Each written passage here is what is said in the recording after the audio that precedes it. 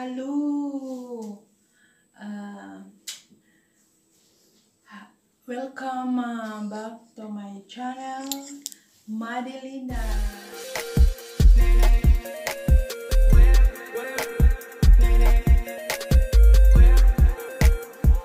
So now I am going to show on how to uh, remove uh, a fishy odor in my uh, clothes uh, because uh, I am working in a fish fabric so I have a, a worker's uniform uh, uh, smell fish to prepare uh, this uh, citron citron de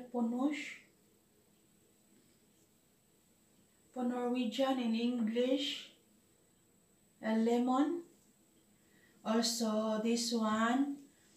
Uh, I mix together this one with uh, uh, natron carbonate for Norwegian language and for Engil Ingels English not uh, so baking soda.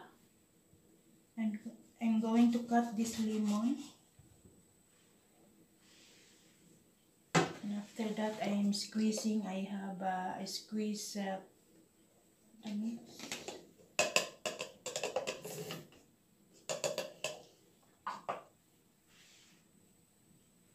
Uh, this is uh, uh, baking soda. So I put 2 tablespoons of baking soda on it.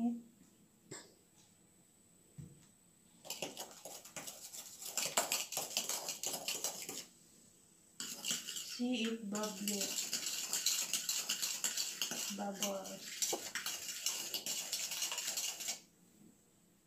So, and after that, I put some, a little bit uh, water. Yeah, it looks like this. Yeah. This is the preparation, mixing procedure. Uh, working clothes there in a fish factory. It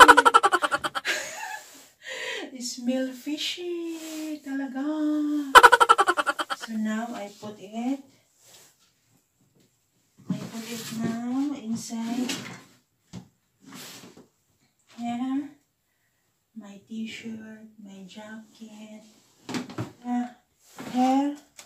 Just I put a little uh, because I bought uh, surf powder from Philippines.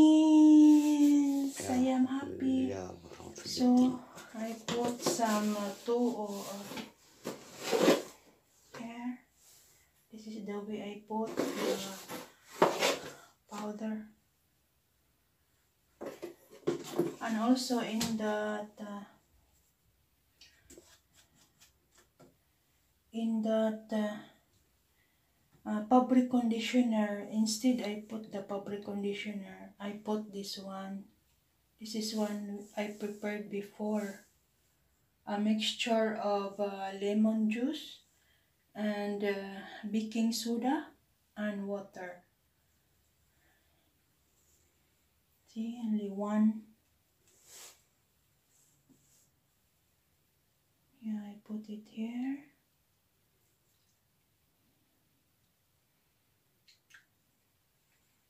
Mixing mixing. We I can put like this. My yeah.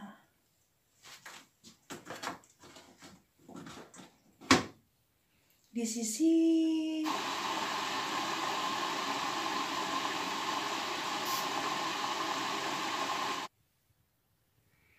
hello welcome back so let's see.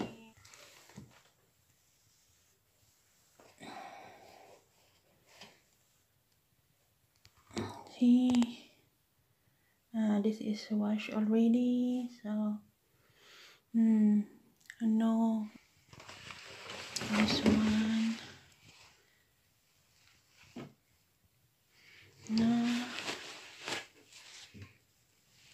No odor anymore. Tried and tested. Okay. Thank you very much for watching. I am Madelina. Happy Easter to all. Thank you. Mama.